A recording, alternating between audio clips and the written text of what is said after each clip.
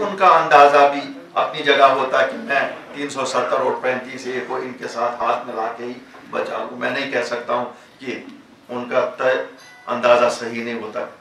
शायद मौत ने उनको फुर्सत नहीं दी, ये भी हो सकता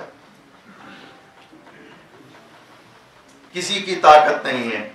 यहाँ तक कि नेशनल कॉन्फ्रेंस के जोमा 27 जुलाई 2019 को वज़ीर अजम हिंद से मिले।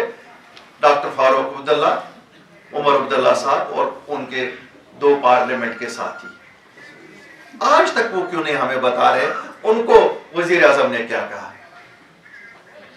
क्या ये आपका हक नहीं है जानना?